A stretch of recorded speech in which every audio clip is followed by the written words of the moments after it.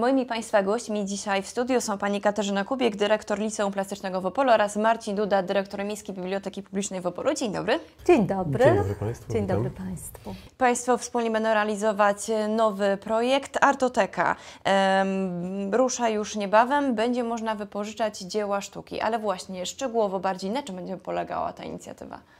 No to ja może zacznę, ponieważ e, cieszy mnie bardzo fakt, że ruszamy Artotekę, że to jest coś nowego, coś, e, czego jeszcze w Opolu nie było. I rzeczywiście coś nie tylko dla pasjonatów sztuki, ale myślę, że właśnie w ten sposób odnajdziemy osoby, które jeszcze nie wiedzą, że są pasjonatami sztuki.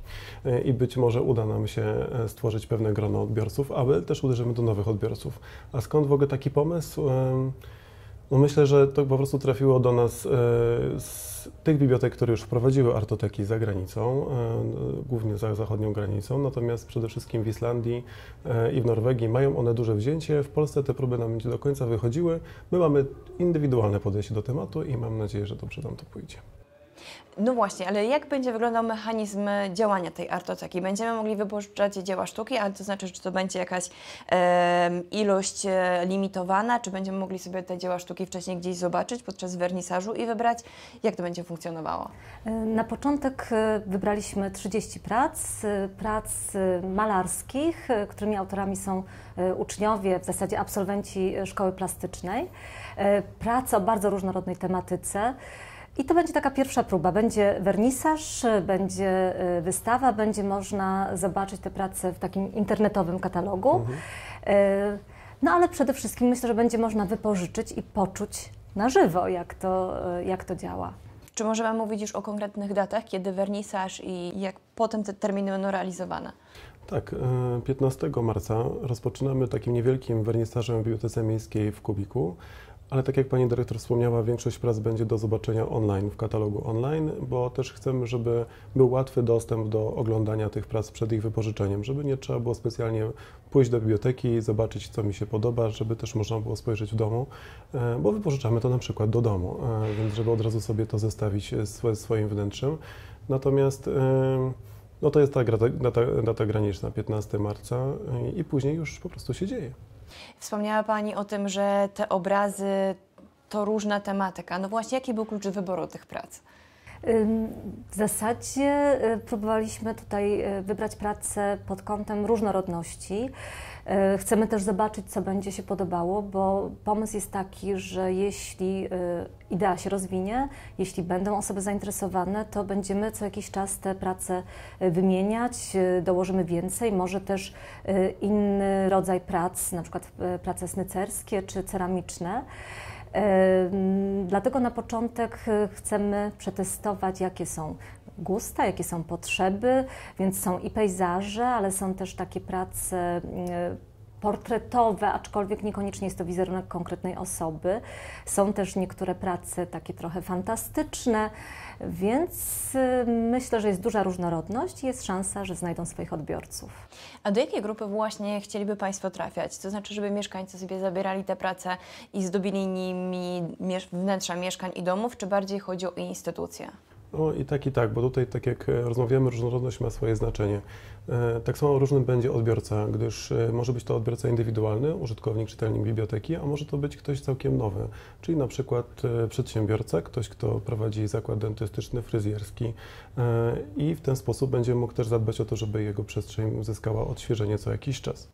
A teraz względy techniczne, to znaczy, tak jak książkę mogę wypożyczyć na jakiś czas, jeżeli jej nie zwrócę, to muszę zapłacić, albo jeżeli ją zniszczę, to muszę odkupić. No więc jak będzie wyglądał w przypadku dzieł sztuki? Czy tutaj nie ma jednak takiej obawy, że jak będzie to dzieło podróżowało gdzieś tam z domu, z mieszkania do mieszkania, to ulegnie gdzieś tam zniszczeniu? To jeśli mogę, to ja chętnie odpowiem na to pytanie. E, tak, to jest obawa i jest to ryzyko, na które my się wspólnie godzimy, bo jeżeli nie, nie podejmiemy tego ryzyka, to te prace, no cóż, dla kogo je tworzymy y, i jaki ich jest ich cel. W ten sposób nadajemy im pewien, pewien nurt, pewną przyszłość, ale też mamy na myśli promowanie artystów, którzy również ryzykują w ten sposób, ponieważ tą pracę będzie można wykupić. Ona nie musi wrócić do biblioteki. Ona może zostać już wykupiona u tej osoby, która właśnie tą pracę wypożyczyła.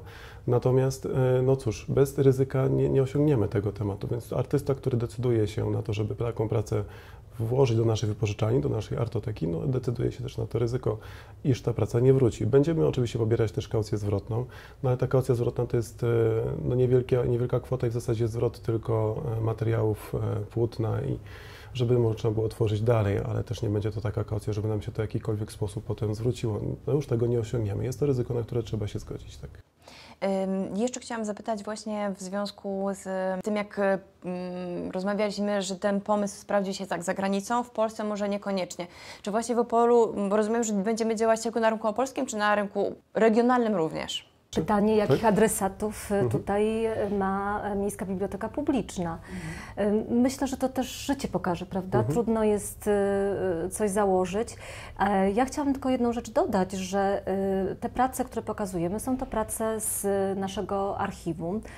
Uczniowie wykonując pracę w szkole, pracę w ramach na przykład dyplomu, czyli na zakończenie nauki, mogą te prace po kosztach materiałów wykupić, mieć jakby u siebie, dla siebie.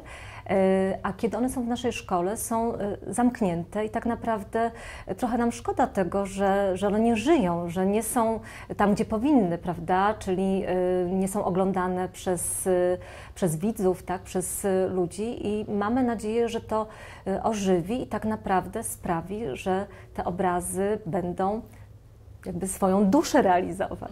Czyli tak, dostaną szansę, żeby rzeczywiście y, nie marnować swojego potencjału gdzieś w magazynie, tylko być oglądanym, podziwianym i zdobić y, przestrzeń. Tak, ale pytasz też o, tych, o to środowisko lokalne. Ja myślę, że my się na tym głównie powinniśmy skupić. Tak. E, Rzeczywiście naszym odbiorcą jest to biblioteka miejska, są przede wszystkim mieszkańcy Opola i, i okolic. Natomiast e, to środowisko lokalne to są też twórcy i tych, tych właśnie chcemy też promować. E, Czy to właśnie są dyplomaci, ale też myślę tutaj o, może zaangażuje się nam szersze grono artystów, ale właśnie też lokalnych, bo umówmy się, do artoteki swojego dzieła nie wstawi ktoś, kto potrafi na nim zarobić kilkadziesiąt tysięcy złotych na jednym obrazie. To też nie o to do końca chodzi. E, Myślę, że te prace, które może nie są jeszcze uznanych artystów, ale są, istnieją, one też mają bardzo wysoką wartość i, i tą wartość warto docenić i pokazać. A czy pojawiały się właśnie w związku z pomysłem takie głosy ym, gdzieś z przestrzeni miasta, że rzeczywiście byłoby zainteresowanie, że oczywiście nigdy nie ma pewności, że dany pomysł się sprawdzi, ale czy zwracano się do Państwa z tym, że może faktycznie warto byłoby coś takiego zrealizować?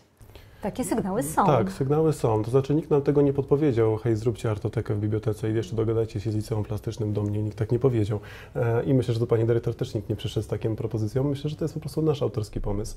Natomiast, natomiast myślę też w, ten, w tej konwencji, że jak tego nie ruszymy, to nic z tego nie będzie po prostu. Nie sprawdzimy, dokładnie.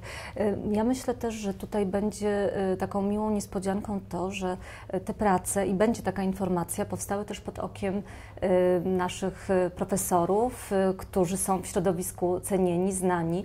Mamy pracę, która powstała w pracowni pana Bolesława Polnara, y, która sprzed wielu, wielu lat, to taka też myślę pamiątka. Y, Mamy pracę z pracowni pana Zbigniewa Natkańca, tak, y, pani Małgorzaty Futkowskiej, Joanny Projs. Także myślę, że to też dla wielu osób będzie takim miłym tutaj doświadczeniem, żeby obcować z pracami uczniów, właśnie tych nauczycieli. A z bieżącej twórczości właśnie, przepraszam?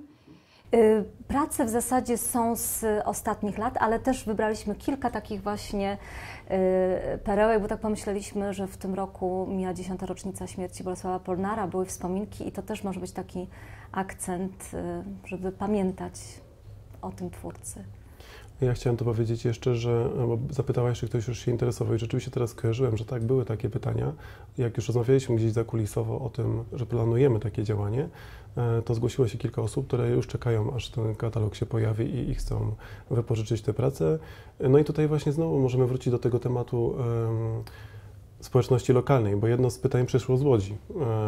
Czy, czy prace mogą pojechać też do Łodzi? Takie było pytanie mailowe i mam nadzieję, że, że, że tak, że, że będziemy mogli je wypożyczyć. No i to jest kwestia jeszcze dyskusyjna, bo dziś rozmawialiśmy też o tym, na jak długo wypożyczać te prace. E, Do 15 marca to na pewno się skonkretyzuje, ale poproponujemy 3 miesiące i wydaje mi się to dobrym pomysłem, żeby mieć taką możliwość, żeby co 3 miesiące e, odświeżyć swoje wnętrze. Czyli odliczamy w takim razie teraz dni do, do startu tego projektu. Osoby zainteresowane rozumiem, że mogą znaleźć więcej informacji na stronach internetowych e, Państwa placówek. W takim razie bardzo dziękuję za wizytę w studiu i za rozmowę. Trzymamy kciuki za powodzenie projektu, a moimi Państwa gośćmi była Pani Katarzyna Kubik, dyrektor Liceum Plastycznego w Opolu oraz Marcin Duda, dyrektor Miejskiej Biblioteki Publicznej w Opolu. Dziękuję. Dziękuję. Dziękujemy za zaproszenie. Dziękujemy, tak.